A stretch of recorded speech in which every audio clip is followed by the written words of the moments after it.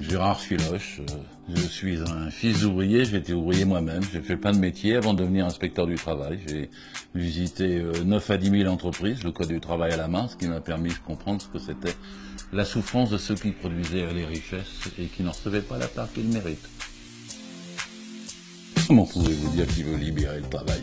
Il veut exploiter davantage les travailleurs. Pour ça, il veut permettre que les patrons puissent les licencier, les menacer. Il veut que leur CDI soit moins solide, que le, licenciement soit plus rapide, qu'il n'y ait pas de, même pour les patrons voyous et délinquants qui n'ont pas de motif, qu'il n'y ait pas de répression contre eux au prud'homme. Il s'en fout aussi de l'hygiène, de la sécurité et des conditions de travail, puisqu'il veut quasiment faire disparaître ce qu'on appelle les CHSCT, Comité Hygiène, Sécurité, Conditions de Travail.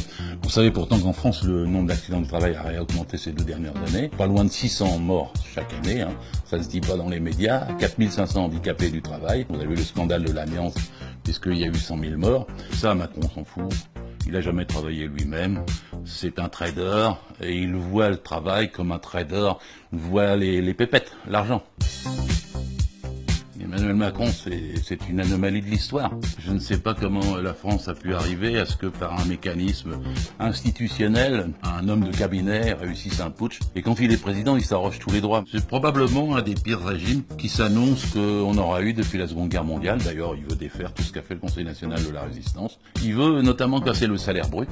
les gens ne savent pas toujours, ils regardent pas le haut de leur feuille de paye, mais c'est ce qui leur permet de vivre toute la vie, le salaire brut. Hein. Le salaire net, on vit au mois le mois. Le salaire brut, on vit toute la vie. C'est ce qui vous protège des aléas, du chômage, de la maladie, de l'accident et de la retraite. Et tout ceci va disparaître du bulletin de paie dans une manipulation assez gigantesque au mois de janvier 2018. En même temps, il ne veut pas qu'il y ait le prélèvement de l'impôt à la source. Pour donner la, tromperie aux gens, c'est qu'il augmenterait un petit peu net alors qu'il baissera beaucoup le brut. C'est un cadeau de probablement 450 milliards au MEDEF, le plus grand hold-up qui ait jamais été fait jusque-là. On connaît les pressions, c'est ce qu'on appelle la mobilisation sociale, hein, c'est-à-dire les manifestations de rue. Mais euh, je le dis, il faut en faire. Ceci dit, il y a une leçon à tirer de l'année dernière, 2016, contre la loi El Khomri. Nous avons fait 14 manifestations.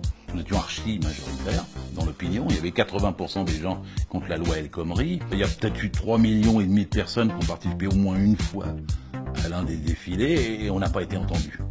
Donc les gens s'interrogent, qu'est-ce qu'il faut faire? Moi, je n'ai pas de, de consignes ni de moyens d'ailleurs d'en donner, mais j'observe que chaque fois qu'on a gagné dans notre pays, c'était quand les entreprises étaient occupées. C'est-à-dire en 1936, euh, en, mai-juin 68, chaque fois qu'il y a eu un tel mouvement que la, la, société était paralysée comme en novembre-décembre 95. Je me dis que si on veut euh, avoir une riposte qui soit à la hauteur et qui permette de gagner sans gâcher des énergies, c'est sûrement un mouvement de ce type qui est nécessaire. Alors maintenant, on ne le décrète pas, c'est aux salariés d'en décider.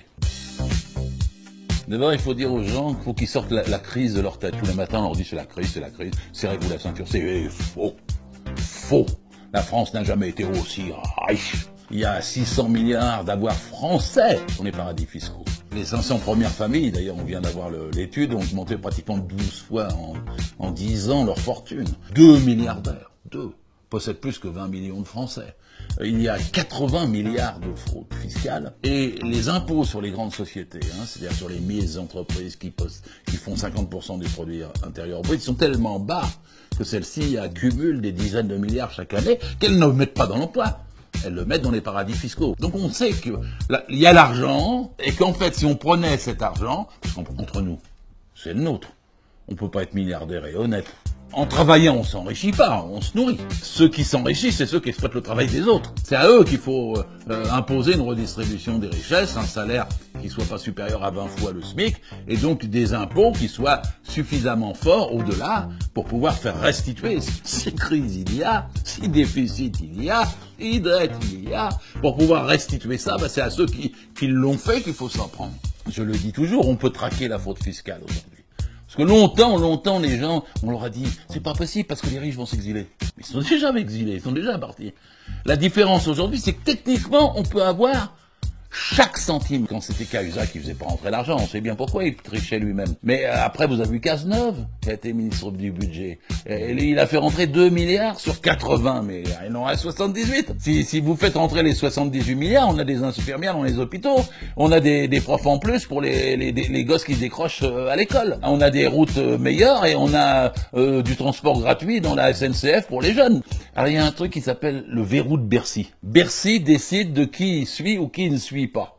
je propose de faire sauter le verrou de Bercy et de faire qu'on puisse poursuivre et qu'il puisse y avoir des plaintes et qu'on puisse faire le, nécessaire pour faire rentrer ces dizaines de milliards. Ça sera beaucoup plus simple que de casser le code du travail. Ouais, battez-vous pour vos salaires. Ne croyez pas qu'il faut baisser le coût du travail. Ce qu'il faut baisser, c'est le coût des dividendes. Jamais il y a eu autant de dividendes que l'année dernière en France. C'est le record de l'histoire de France. Ils servent à rien. Il faut pas croire qu'un jour ils reviennent comme ça, puis qu'ils vont nous ouvrir des usines. Non, ils les ferment pour avoir plus de dividendes. Le, combat de, millions, de millions d'entre nous, tous les, de tous les citoyens, c'est d'arrêter la finance là-haut pour de bon. Ils sont trop peu à se goinfrer sur notre dos. Et ça, il faut que ça soit un sentiment partagé jusqu'à ça leur devienne impossible. Et ce que la conscience des gens soit telle qu'on puisse effectivement reprendre ce fruit de notre travail, se le partager entre nous, on vivrait tellement mieux. Je sais même pas comment ils peuvent vivre là-haut dans un océan de misère. Ça doit quand même leur poser des problèmes moraux de temps en temps. Je sais que moi, quand je vois la misère dans la rue et que je sais que je ne peux rien faire pour, que je vois des gamins dormir par terre avec leur famille, que je vois des migrants à Calais, ils gazent leurs affaires, leurs toiles de tente ou leurs fringues pour pas qu'ils restent. Euh, quand je vois ça, je me dis, hein, je peux pas ne pas bouger. Et euh, à tous ceux qui, qui m'écoutent, je dis bougez aussi, bougez aussi.